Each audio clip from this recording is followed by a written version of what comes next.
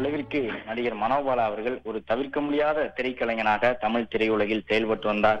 அவருடைய மரணம் ஒரு பெரிய வருத்தத்தை திரையுலகினருக்கு ஏற்படுத்தி இருக்கின்றது. இந்த இறுதி ஊர்வலமானது தற்போது தொடங்கி நடைபெற்று வரக்கூடிய காட்சியை நாம் பார்க்கின்றோம்.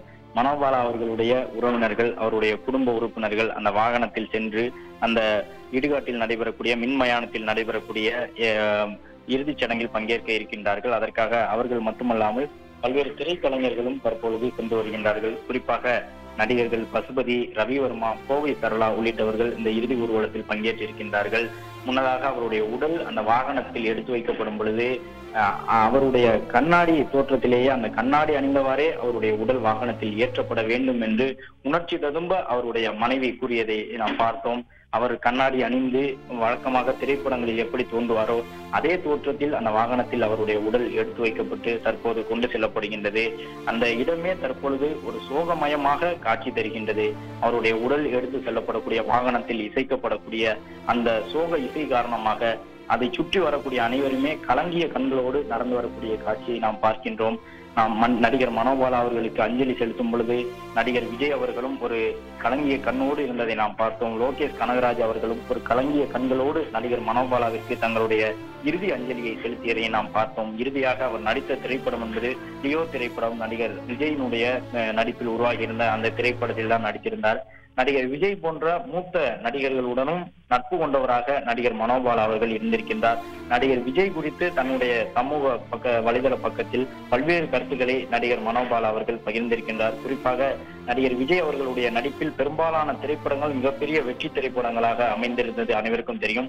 என்றாலும் ஒரு சில திரைப்படங்கள் பெரிய அளவில் வெற்றி பெறாமல் இருந்தது. அந்த இரண்டாயிரத்தி பத்து காலகட்டத்தில் அப்படியான திரைப்படங்களை குறிப்பிட்டு அந்த திரைப்படங்களில் எல்லாம் நடிகர் விஜய் அவர்கள் நடிப்பதை தவிர்த்திருக்கலாமே என்று நடிகர் மனோபாலா அவர்கள் விஜயிடம் கேட்டதாகவும் அப்போது விஜயும் சில கருத்துக்களை சொன்னதாகவும் அதாவது அந்த படத்தினுடைய கதை சொல்லப்படும் பொழுது அது நன்றாக இருந்தது. ஆனால் அது திரைக்கதையாக மாறி திரைக்கு வரும் பொழுது அந்த படம் எதிர்பார்த்த அளவு இல்லை. அதன் காரணமாகவே படம் வெற்றி பெறவில்லை என்று தன்னிடம் நடிகர் விஜய் அவர்கள் சொன்னதாகவும் நடிகர் மனோபாலா அவர்கள் கருத்துக்களை பதிவிட்டிருந்தார். அந்த அளவிற்கு நடிகர் விஜய் போன்றவர்களோடு நட்பு கொண்டவராக இருந்திருக்கின்றார். ரஜினிகாந்த் விஜயகாந்த் சரத்குமார் போன்ற நடிகர்களை கொண்டு படங்களை இயக்கி இருக்கின்றார். நடிகை சுஹாசினி ராதிகா உள்ளிட்டவர்களையும் தன்னுடைய படங்களிலே நடிக்க வைத்திருக்கின்றார். குறிப்பாக நடிகர் மனோபாலா அவர்களுடைய அனைத்து திரைப்படங்களிலும் நடிகை ராதிகா அவர்கள் முக்கிய கதாபாத்திரத்தில் நடித்திருக்கின்றார். ஆயிரத்தி தொள்ளாயிரத்தி எண்பதுகளில் எடுக்கப்பட்ட அனைத்து திரைப்படங்களிலுமே ராதிகா அவர்களுடைய கதாபாத்திரம் முக்கியமான கதாபாத்திரமாக இருந்திருக்கின்றது. நடிகர் ரஜினிகாந்த் அவர்களுடைய வாழ்வில் முக்கியமான திரைப்படமாக அமைந்த திரைப்படங்களையும் நடிகர் மனோபால் அவர்கள் இயக்கியிருக்கின்றார். அந்த அடிப்படையில் ஊர்காவலன் திரைப்படத்தை அவர்தான் இயக்கியிருந்தார். அதே போன்று மோகன் ராதிகாந்த் நடிப்பில் உருவாகியிருந்த பிள்ளை நிலா திரைப்படத்தையும் இயக்குனராக இருந்து அஹ், இயக்கியிருந்தார். மனோபாலா அவர்களுடைய மறைவின் காரணமாக தற்பொழுது அவருடைய ரசிகர்களுக்கு மட்டுமல்லாமல் தமிழ் திரையுலகிற்கே பேரிழப்பு ஏற்பட்டிருக்கின்றது என்று சொல்லக்கூடிய வகையிலே இயக்குனர் சங்கம் நடிகர் சங்கம் என்று பல்வேறு சங்கங்களில் பணி செய்து அதன் மூலமாக உதவி இயக்குனர்கள் உள்ளிட்டவர்களுக்கு உதவக்கூடிய ஒரு திரைக்கலைஞனான நடிகர் மனோபாலா அவர்கள் இருந்ததன் காரணமாகவே இந்த ஒரு மரண செய்தி தமிழ் திரையுலகினருக்கு ஒரு பெருத்த ஒரு பேரிடியாக அமைந்திருக்கின்றது. நடிகர் மனோபாலா அவர்கள் அண்மையில் ஆஞ்சியோ சிகிச்சை மேற்கொண்டிருந்தார். அதிலிருந்து மீண்டு வந்தார்.